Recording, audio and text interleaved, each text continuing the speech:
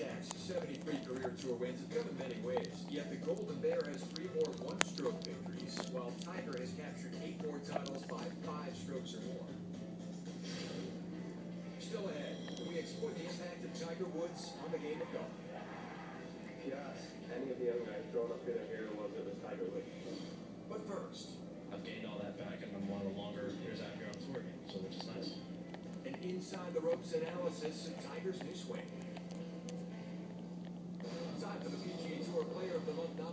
Presented by. We try harder.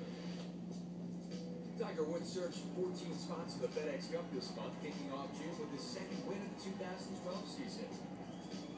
Dustin Johnson clinched his sixth career title at the FedEx. Jude Classic, sliding up 54 places in the standings.